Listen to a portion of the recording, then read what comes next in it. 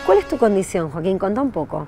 Bueno, yo, yo sufro de condroplasia, que es un déficit en las hormonas de crecimiento eh, que te hace ser más petizo.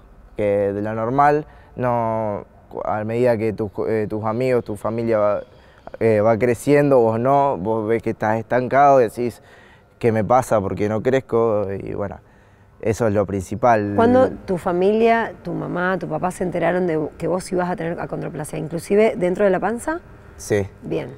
Yo, bueno, fue, fue particular lo mío porque yo, esto nunca lo había dicho, pero cuando, cuando a mi papá le dijeron, eh, cuando mi mamá estaba embarazada de mí, supuestamente yo cuando iba a nacer eh, iba a fallecer eh, al momento del parto. ¿Eso le habían indicado los médicos? Sí, la Pero la condroplasia no es sinónimo de muerte, no sé por qué. No, no, no. Había otras complicaciones. No, no, fue después cuando. Esto quería llegar que cuando las últimas semanas que mi mamá estaba por dar a luz, eh, fue ahí que le dijeron: eh, no, tu hijo va, a vivir, va a poder una vida sana y va a sufrir de condroplasia, que bueno, y le explicaron todo lo que era, que déficit de las hormonas de crecimiento.